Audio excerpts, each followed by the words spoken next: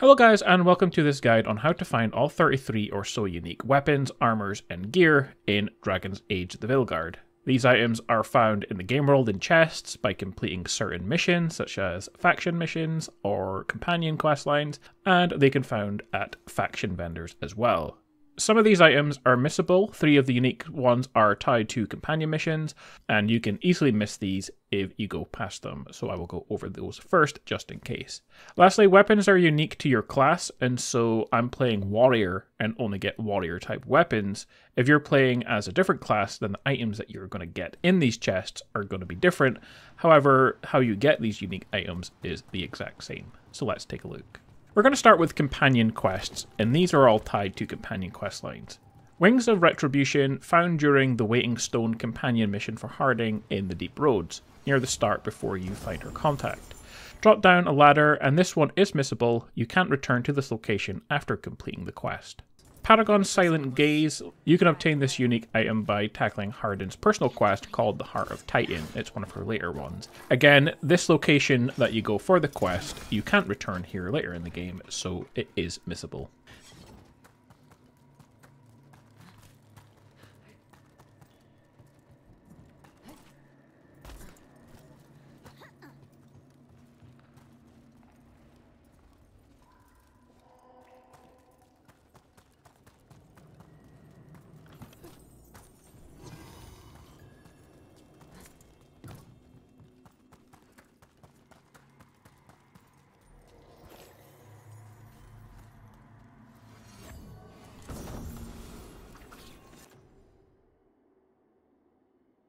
Essence Vortex found in Blackthorn Manor during Emmeric's companion quest House of the Dead. You go to the manor multiple times for quest for him. It's the second time that you will get this mission and you will get the unique item.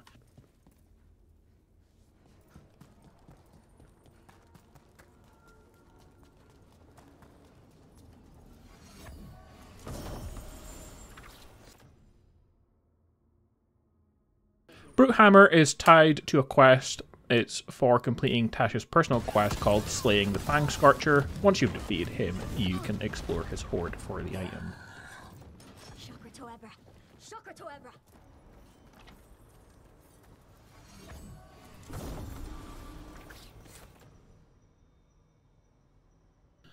Unyielding Stone is another quest for defeating another dragon during Tasha's quest called Katarandu, and you'll get the Unyielding Stone for doing that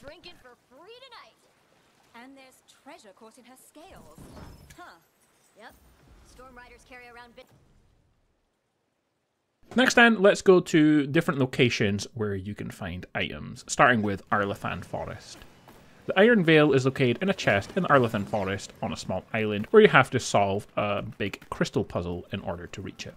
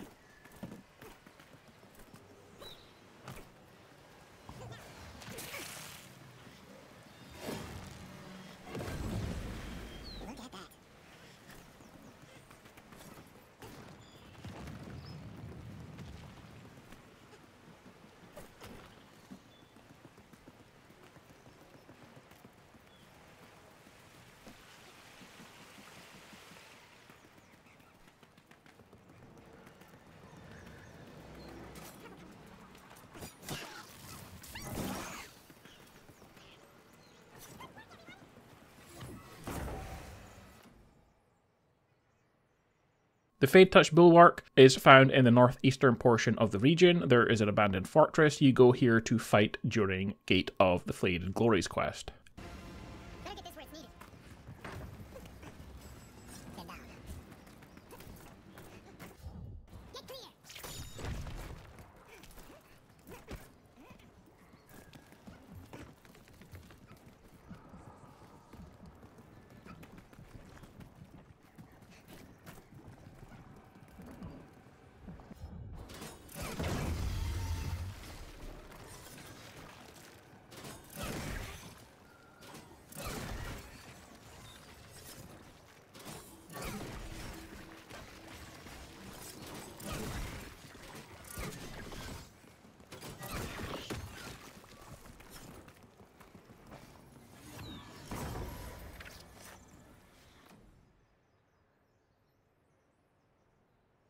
Next, we're in Docktown. Magister's End, you first need access to the catacombs by doing side quests in the city, and eventually you'll get a quest called Desperate in Docktown after you've completed the Hidden Hoard. It takes a while for these quests to unlock, but the chest is in a new area where you do a quest in the catacombs.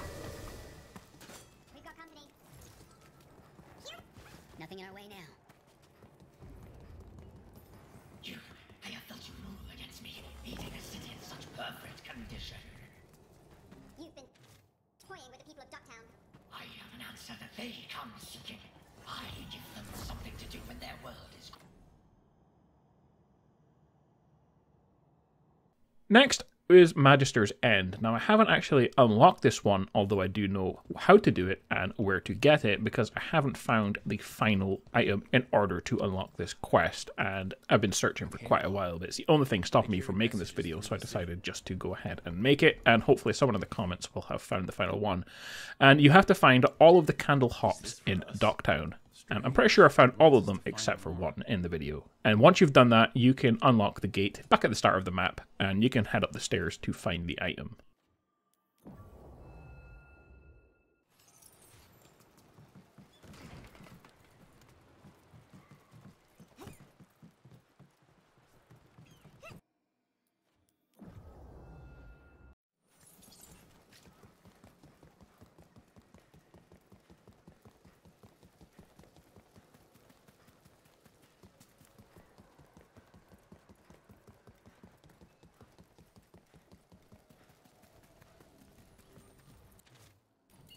Another message for us.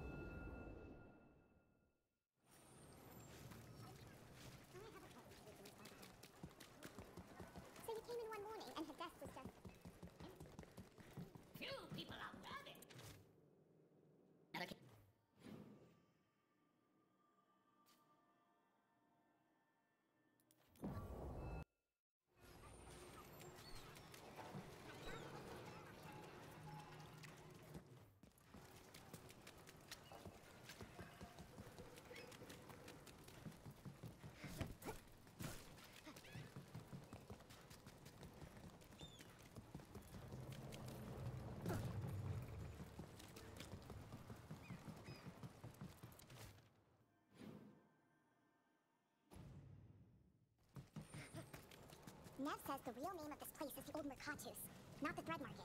But if you call it that, people will know you're a tur-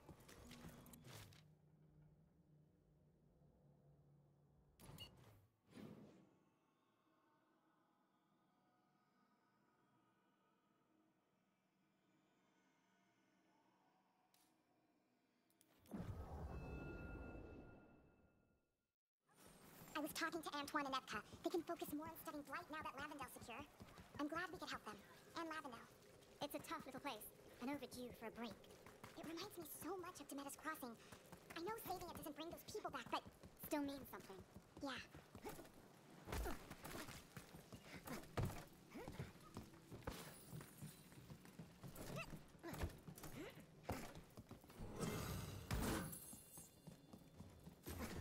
down it? We'll patch up the phone room before they get to us down here, if they ever do.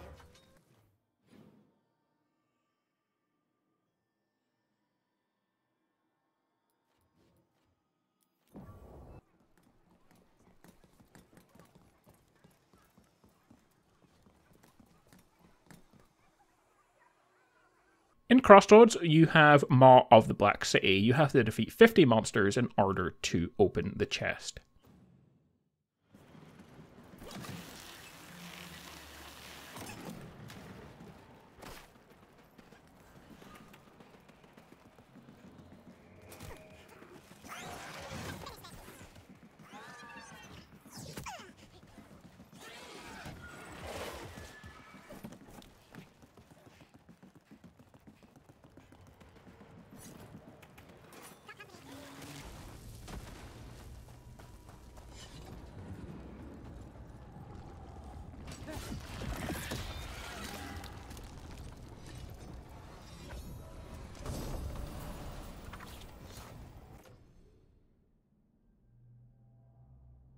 Treviso, the hard way. The chest is near where you find Fletcher at the beginning of the mission called Missing in Action.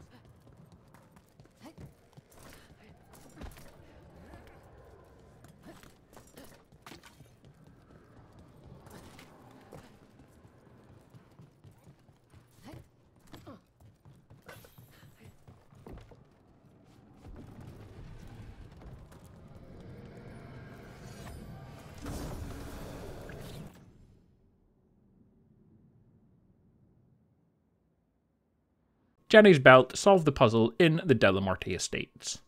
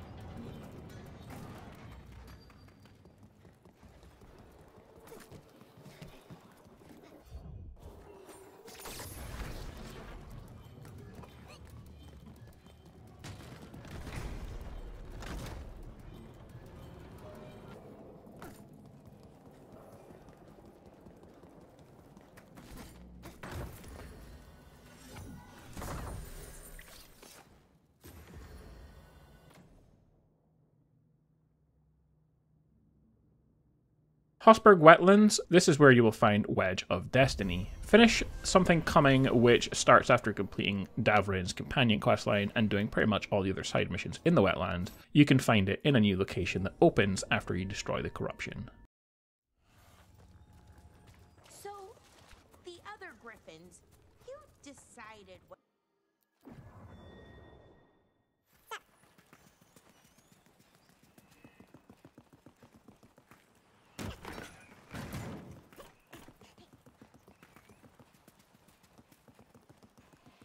The Rivain Coast, Crooky Tail's Crest, solve the puzzle and open the Warden's Vault.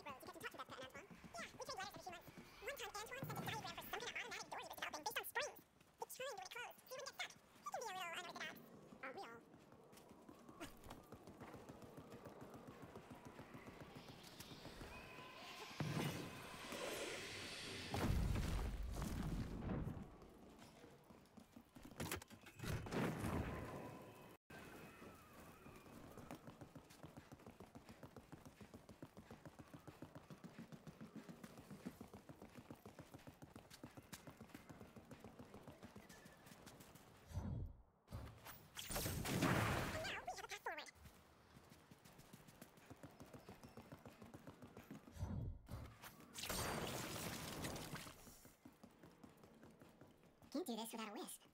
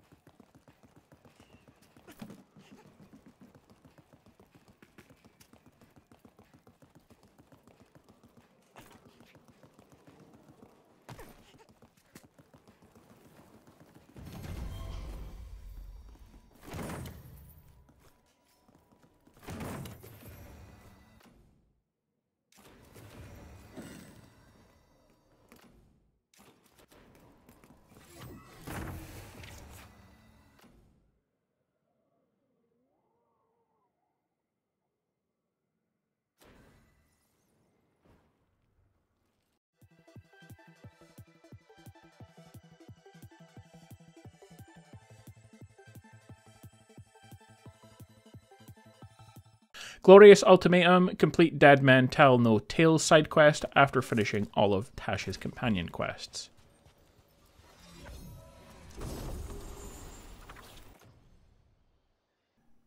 Meredith's Legacy, again, complete Treasure of Sharkmouth Mountain after completing all of Taash's companion quests, which will allow you to unlock this area.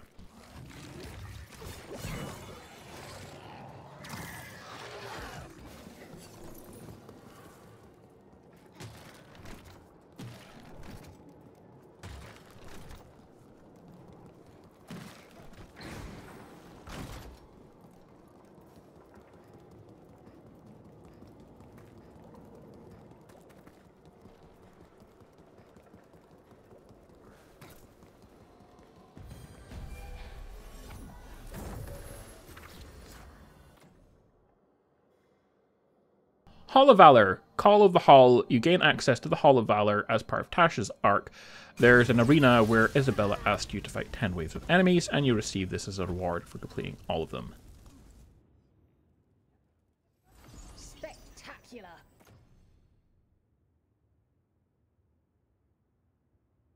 Necropolis Halls. Pillar of the Departed. Complete Restless Spirit and open the door to start the pinnacle of its kind quest where you fight a dragon and are rewarded with the Pillar of the Departed armor.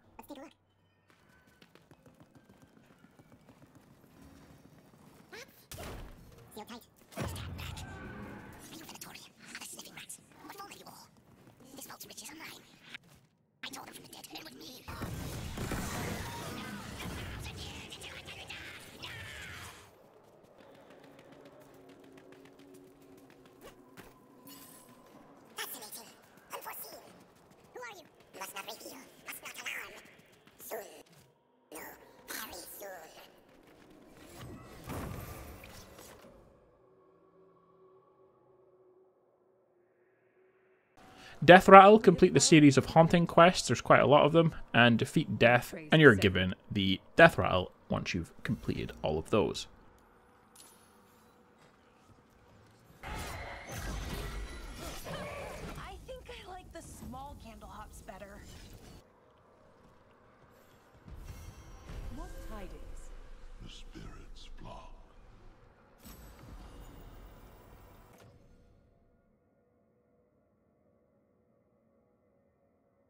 So those are all of the ones tied to different locations, but there are a couple now that will be tied to multiple quests. So the first one is Heart of Corruption questline.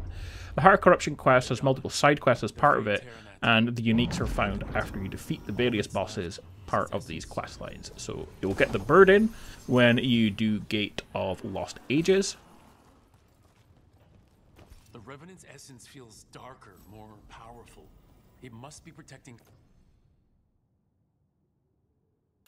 You will get the Field Commander's Helm when you've done the Gate of Pale Reflections quest. Casket Sharp is also part of the Pale Reflections quest, which is at the end. The Field Commander's Helm, the previous one, as you can see, was in the Hossberg Wetlands, where you go during the quest.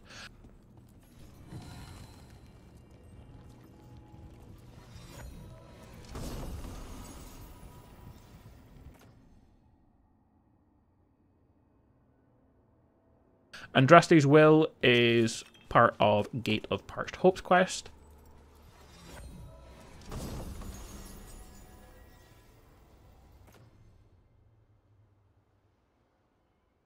And Last Resort is after you complete Heart of the Corruption quest, after you've done the Dragon Boss.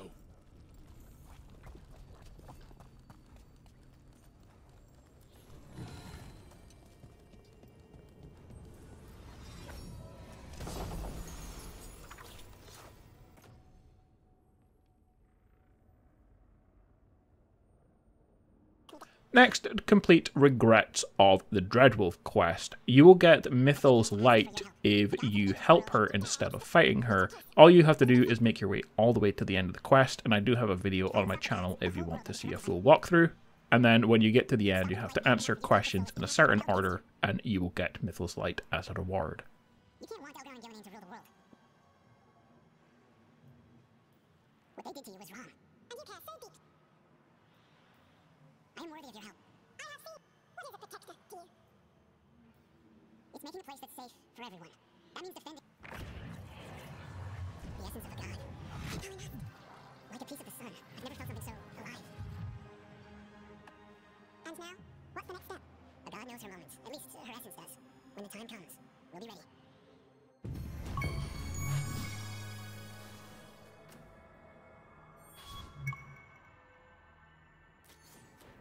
Once you've completed the quest, if you follow the side path close to her, you will get a pale reflection.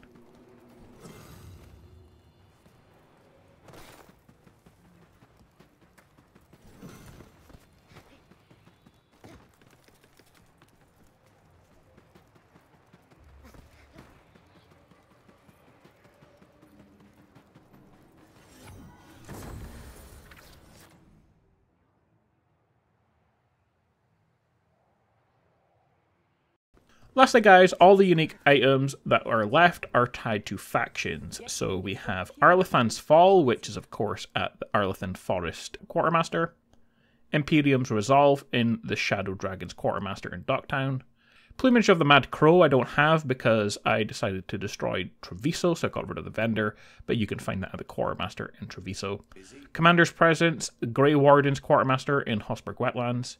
Gravestone, this is found in the Quartermaster in the Necropolis Halls.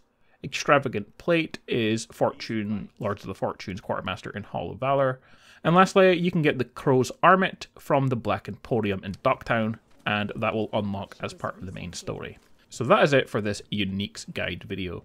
If you found it helpful, like and subscribe, and if I have missed any, you can let me know in the comments below. And if you found the final one for the candle hops as well, you can let me know in the comments. And I will see you all in the next video.